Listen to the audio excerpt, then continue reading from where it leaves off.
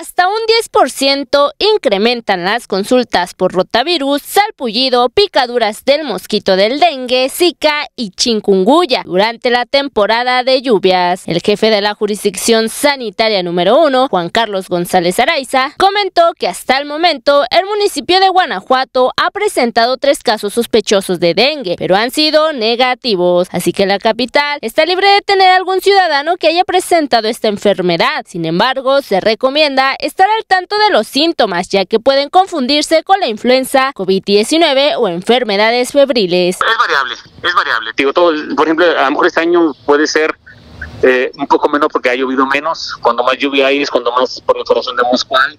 Entonces, digamos que quizás las enfermedades febriles exantemáticas que se caracterizan por un, un salpullido, eh, inclusive ahorita también esta época de rotavirus también en los niños, que también se aparece el cuadro clínico. Eh, en general, eh, si acaso un 10%, pero ligeramente incrementa. No, ya se, ya tuve un tercer caso, eran, dos sospechosos la pasada, ahorita hubo un tercero, pero también fue descartado. No he tenido positivos. La Secretaría de Salud de Guanajuato hace unos días informó sobre dos casos de dengue no graves detectados en los municipios de Romita y Salamanca. Por ello, se instruyó en las ocho jurisdicciones sanitarias reforzar las actividades de prevención y control integral. Lo clásico es dolor de cabeza, dolor se le llama retrocular en la parte de atrás de los ojos, fiebre arriba de 38 grados, malestar general, lo que llamamos ataque del estado general, como si hubieran corrido un maratón, o sea, hay gente muy desganada y con múltiples dolores en articulaciones y músculos.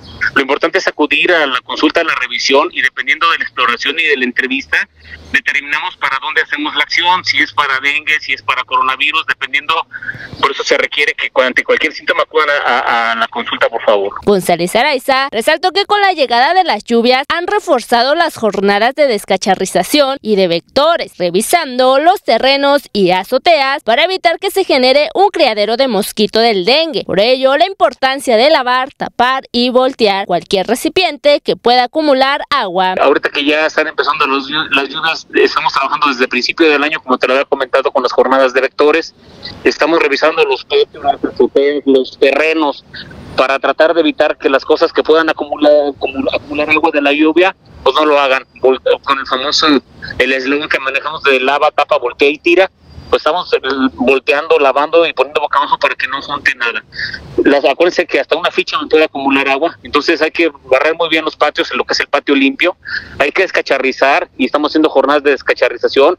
De repente eh, nos vamos de acuerdo con el municipio, acordamos una fecha y se perifonea en la zona que vamos a, a descacharrizar para que la gente se prepare y desaloje todo lo que no ocupa. Para el sistema de noticias de TV Guanajuato con imágenes de Pablo Jiménez, informó Nancy Rocha.